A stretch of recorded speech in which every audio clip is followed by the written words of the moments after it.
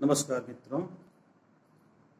विभीषण अच्छे या भीष्म यह एक प्रश्न मेरे दिमाग में काफ़ी दिनों से चल रहा था। मैंने सोचा कि आप सबसे इस वीडियो में इसको साझा करूँ। विभीषण अपने अत्याचारी, घमंडी, दुराचारी, पंडित ज्ञानी होते हुए भी पाप कर्म में लिप्त अपने भाई रावण को छोड़ करके परम ब्रह्म परमेश्वर परमात्मा प्रभु के अवतार श्री राम जी के शरण में आ गए तो लोग उन्हें भेदिया बोलते हैं। इसके उल्टे विष्णु पितामह, जो कि अंधे राजा, धृतराष्ट्र के पुत्र कौरों का एक तरह से देखा जाए तो मुखिया दुर्योधन के अत्याचारों, अधर्मों, कुकर्मों के बावजूद उनके साथ बने रहे और धर्म का साथ दे रहे। परम परम ब्रह्म परमेश्वर परमात्मा प्रभु के अवतार श्री कृष्ण के शरण में या पांडवों के तरफ़ से जो कि धर्म युद्ध कर रहे थे, उनके तरफ़ नहीं गए।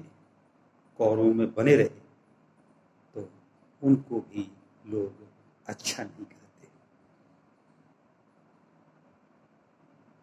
तो फिर तो ये अपने विवेक पर ही निर्भर करता है कि हमें परिवार में ही मौजूद अत्याचारी, अधर्मी, पापी, कपटी